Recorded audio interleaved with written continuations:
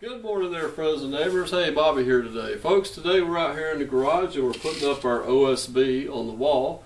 And I thought I would just demonstrate uh, how to find like where your outlets are and your light switches are on your piece of uh, OSB before you actually uh, nail it up there.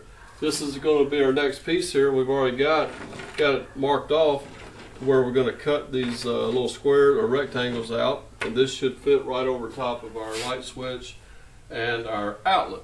So stay tuned and I'll show you how we how we figured out where to put them at. Okay friends, let me show you how we figured out where to mark these things off with. First thing we did, since our plywood doesn't go up against the brick, we've got it up off of there approximately an inch or so.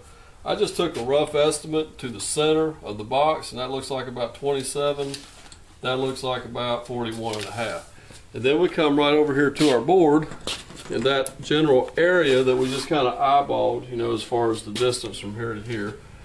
And we just put a little scribble mark at 27 and whatever I said that was, 41 and a half. Just kind of get a general idea of where to mark on the board. Okay, now, next thing is we took a measurement from our piece of OSB that we already have up there to each side of the box.